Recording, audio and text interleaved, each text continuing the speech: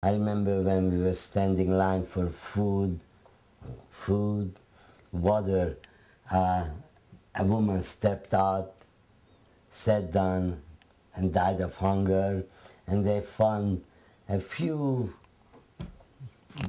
kind of nuts, and the seven kids got the nuts. Do you remember them? No, no, I remember that. But Yeah, and uh, I used to go to the person who was the, you would call it, the manager of the house. Yeah, yeah, he was the he was the head of the the apartment house. Uh, yeah, everything, every complaint, either way, has to go through him. And uh, I went to him every day.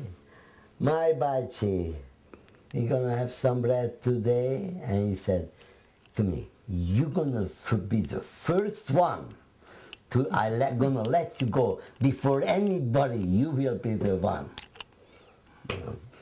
He died too. He died too. Because when we were in the ghetto, definitely there were seven kids with my helpline grandmother and Virginini and Anya. And uh, there was a woman who was living by herself next to the cellar where we have to run in when there was a air raid.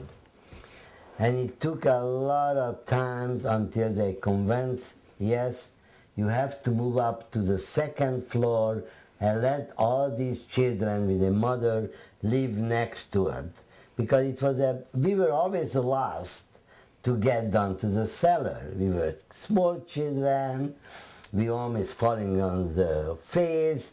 My shoe was three sizes bigger than my foot was, but I was happy. I had something on it was very difficult. I remember, hurry, hurry, hurry.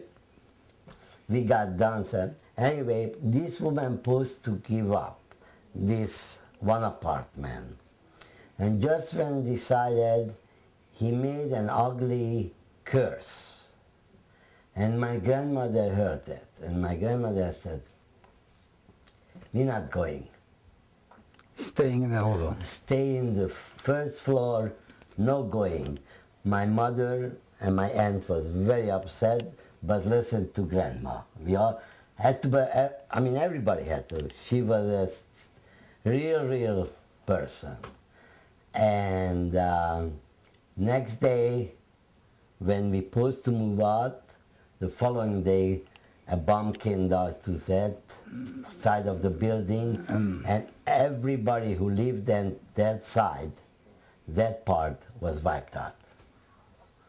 So I remember that very well. I remember when we were crying on the bed, all of us, we are hungry. We shared Yeah. one bed, seven of us. Seven of us. Sideways. Sideways. One turned, the rest of them turned. Yeah. And Pony was crying, so they put a piece of salt into his her mouth just to be quiet. Hungarian Nazis went to door to door. My mother took that opportunity when, when the Nazis went into one apartment, she watched that from an uh, extra window and took that time and very fast run into the community bathroom. And they kept garbage there too and, and hide in a garbage can. But the, fortunately, everything was depend on, on situations. Fortunately, the Nazis didn't go to the community bathroom. I remember seven of us taking a bath in one bathtub. Yeah. it was a, it was a two-bedroom apartment, and All seven. there, there was seven children, and you you know uh, the tub, you know the Tabaks, and and Elaine, and my mother, my grandmother, and her aunt and her mother, and one Bela Bachi, he was the oldest, that was mother of Rozsika, you know. So we lived in a, this apartment and sometimes we were pestered by the Hungarian Nazis. They were coming always looking for if you have any valuables and they always and try to take the woman away mm. to, to whatever reason. And they were hiding they were made into the bed. Like, Irene and my mother, they were, and Rozsika. and Rozsika, they separate, but they were made into the bed, you know, with the big, big, uh, So, so the been uh. Hungarians, I mean, uh, Nazi, Hungarian Nazis. because they were the looking for, for people, they wanted to take them to work. work, yes. And then sometimes they come up and they would, uh, with the bayonet, sometimes, poke- yeah, sometimes to poke the bed because they, they, They know what, what what to look, where to look, you know. And I remember as kids, we were just, you know, I mean, we knew what was all about, but we, you had to be quiet and and there was a little boy, two years old, and he was there without any parents or grandparents, and there was nobody to take care of him. And I remember that my mother took him in, even it was the seven of us. And I remember this little boy, his name was Gabika, and he can hardly talk.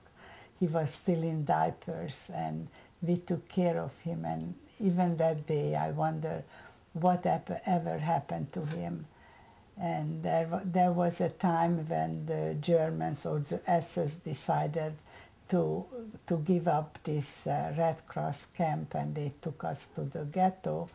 And my mother was also, and Bezsineni, taken away from us because they were considered a young, young woman.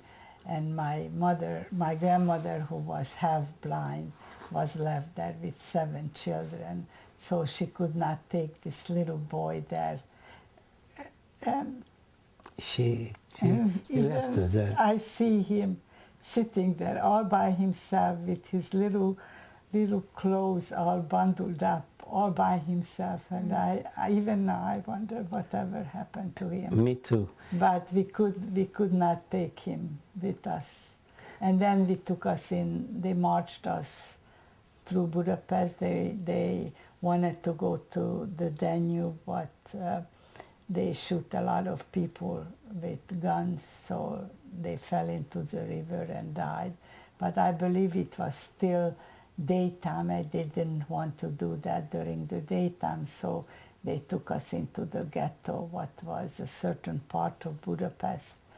And there was even more people to an apartment and they took us there and then my mother and Bezsineni also escaped from the special group they were in.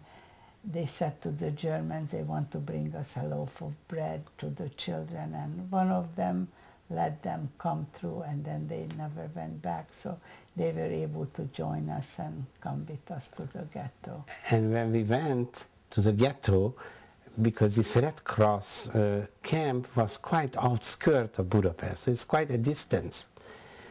And uh, when we were walking, of course, not any automobile or any um, Marching.